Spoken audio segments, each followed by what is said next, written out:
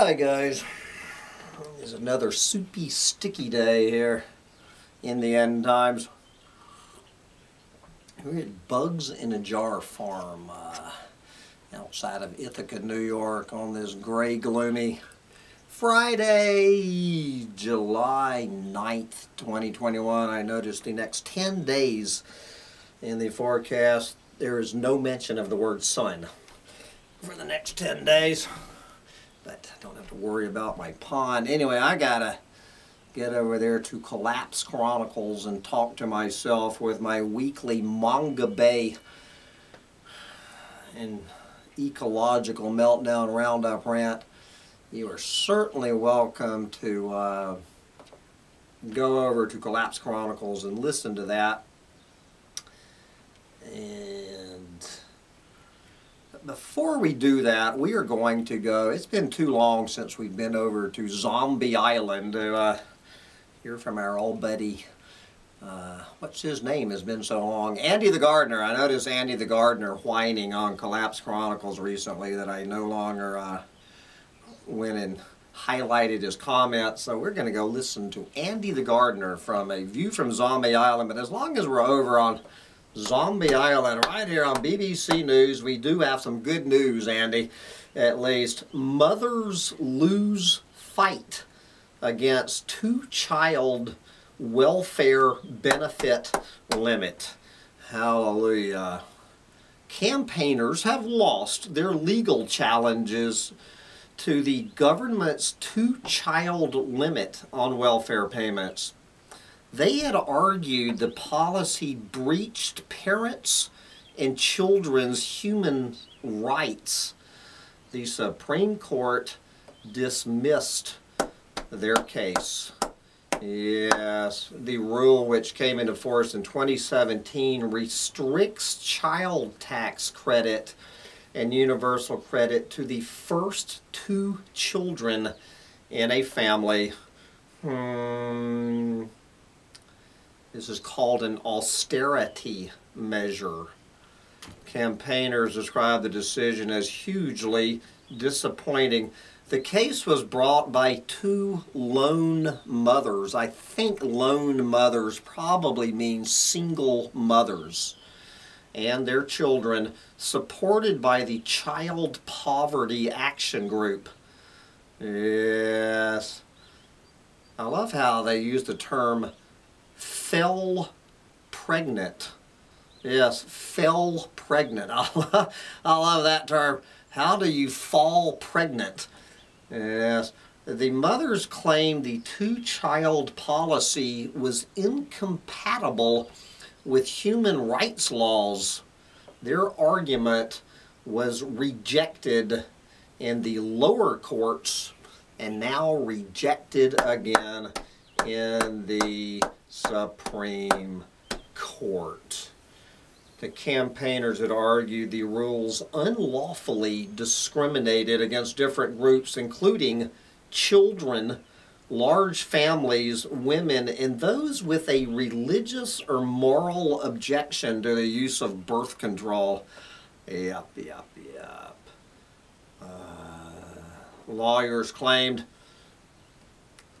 that uh, the new rule is causing deep and inescapable child poverty and fails to recognize children as deserving of social protection in their own right. And guys, I have just enough of the snowflake left in me to, uh, to agree with that statement. But the eco-Nazi has overrolled the, the snowflake uh, and it's time to cut the fucking crap on this. Hallelujah, Supreme Court cutting this shit off at two kids. We should be getting tax credits for having no children. Uh, Andy the gardener should be the richest fucking man in England this side of the fucking king. Do they have a king? You know, from the tax credits he's racked up over having no fucking children. You know, we need this in the goddamn U.S. Uh, uh, I wonder if Joe Biden is, reading this story.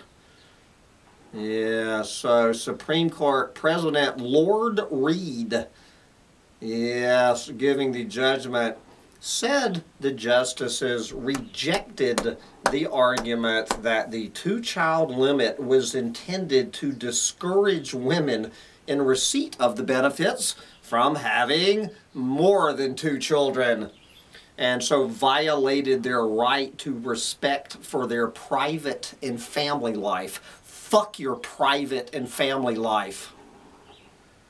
Go fuck yourselves, goddamn single mothers. Anyway, moving on, we're going to, now that uh, we've cheered on the British Supreme Court for uh, having a little bit of a brain, uh, we're going to hear from a, the biggest brain in Zombie Island. I think we need to put Andy the Gardener at the head of the British Supreme Court, Lord Lord Andy. We're going to hear from Lord Andy. Uh, now, this is not an original comment. He's just copying and pasting uh, from a comment that he made.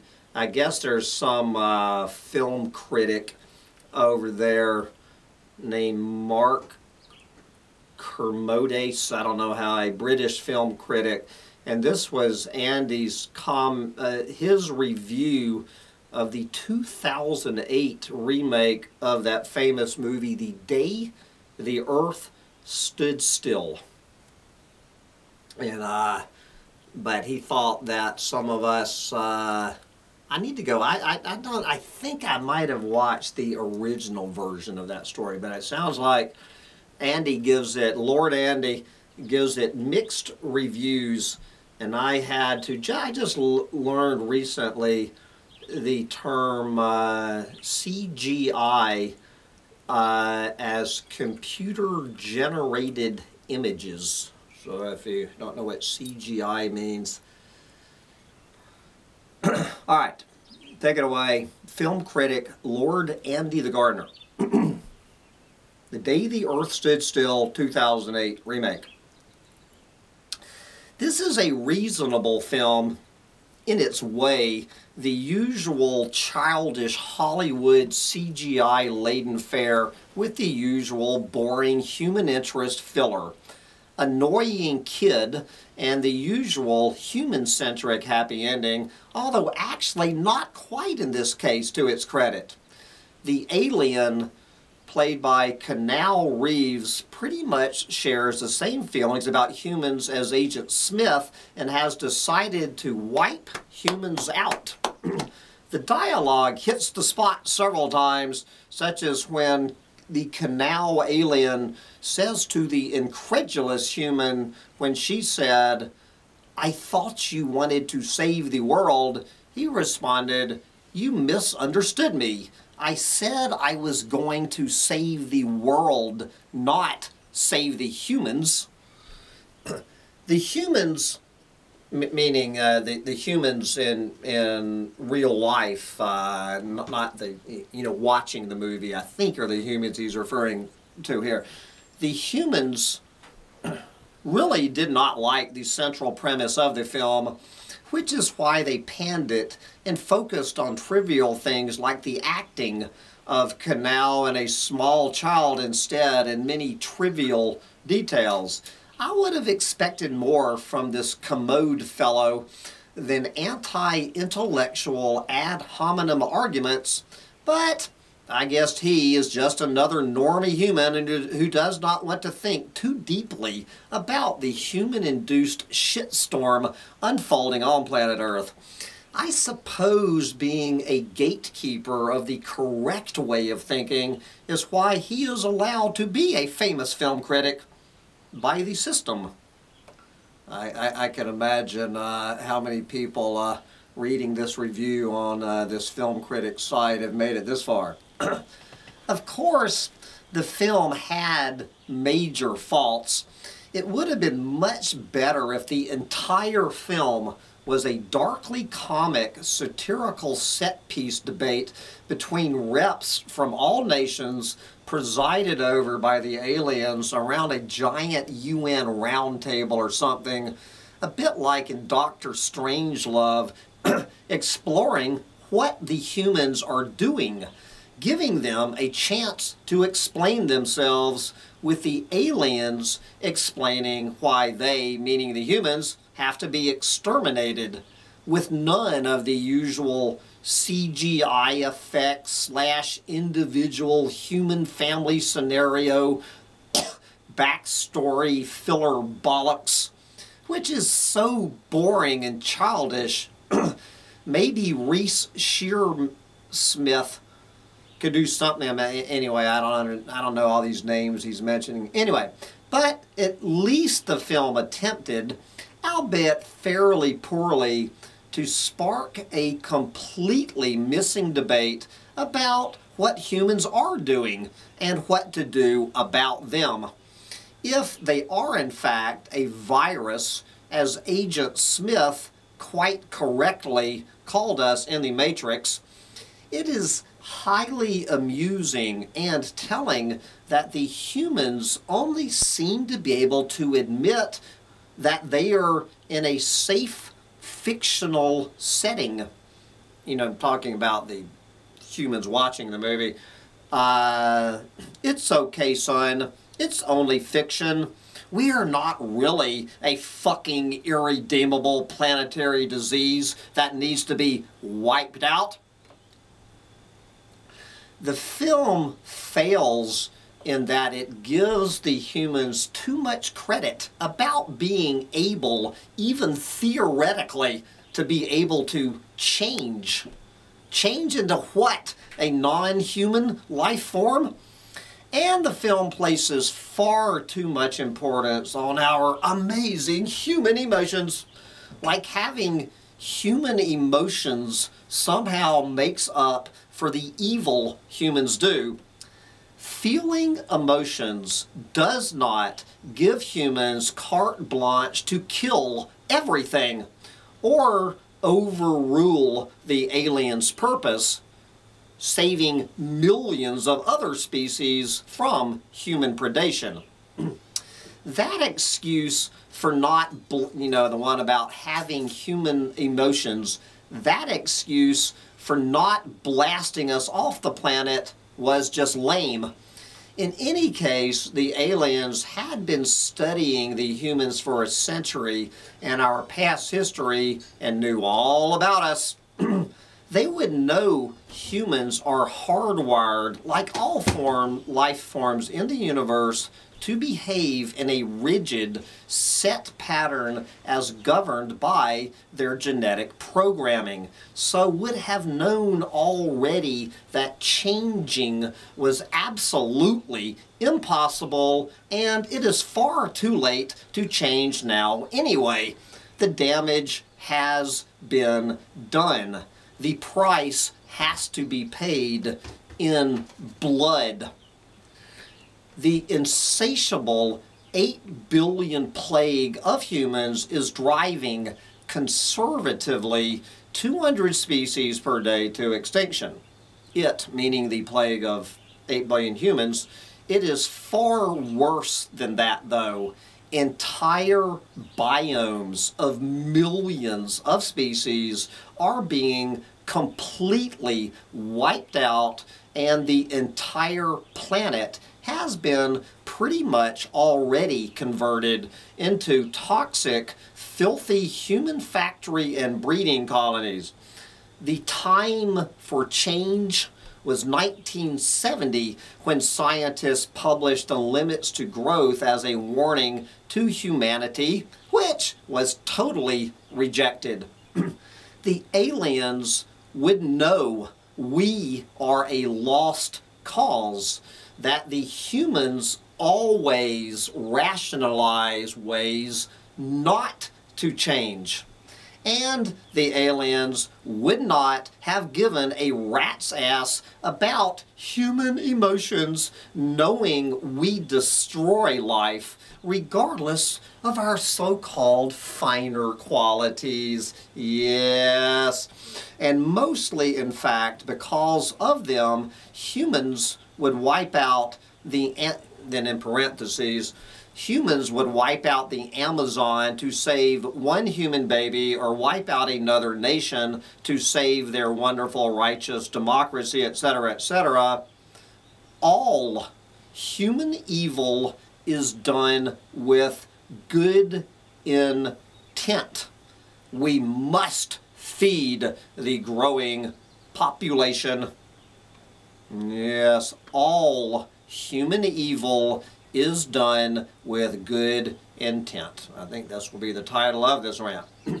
but in giving the humans the benefit of the doubt that they, in fact, unwittingly took the best course of action, instead of wiping out the human species entirely, the aliens just terminated industrial civilization, also known as the mega cancer the tool by which humans are able to wreck the planet so efficiently?